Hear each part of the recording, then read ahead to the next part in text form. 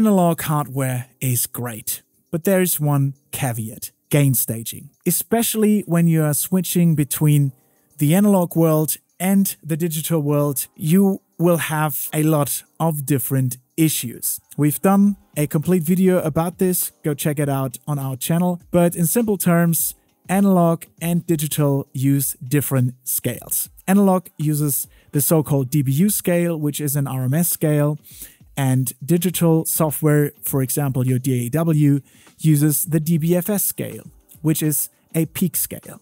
So 13 dBu are not equal to 13 dBFS or vice versa. If you are an ADI2 customer, however, your world becomes much, much easier now because you can set the horizontal meter of your ADI2 to become a dBu meter. So you can actually see in dBu terms what is going out of your ADI2. Let me show you how this is done.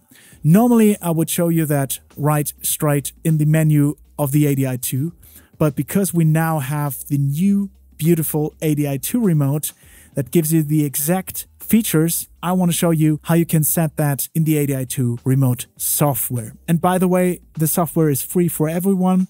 So let me show you how you can do that in the ADI2 remote. Once we've opened up the ADI2 remote, it becomes very obvious that we have full remote control over the connected ADI2 device. In my case, I have the ADI2 4 Pro SE and it's extremely impressive to look at all the options available. Like, for example, I can go into my line input and set the different AD filters that I have.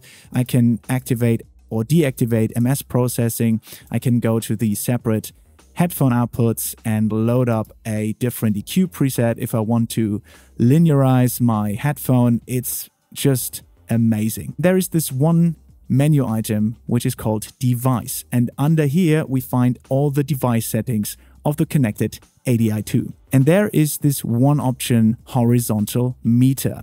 And if you go to PostFX DBU, you get exactly what it says. After the processing is done, like for example, the EQ or uh, certain kinds of digital trim, you get an exact analog scale for the horizontal meter. Okay, I hope this tip was helpful.